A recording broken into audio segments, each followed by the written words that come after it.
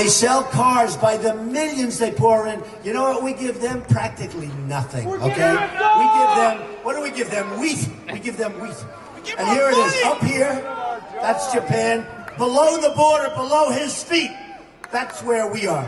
Okay? That's called a trade imbalance. And by the way, they don't even want our product because their people don't want our product and I think it's great. I don't hold China. I have not. I love China. I think China is great. I have the largest bank in the world as my tenant. I sell condos all over the place. They pay me tens of millions of dollars for these condos.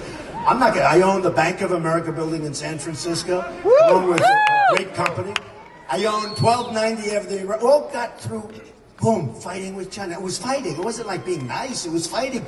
We can do great against China, but I don't hold China responsible. We're going to have this year a $505 billion trade deficit with China. How stupid are we? How stupid are we? How stupid are we? And I'll tell you what, Apple is going to start making their product here, by, by the way, okay? They're going to.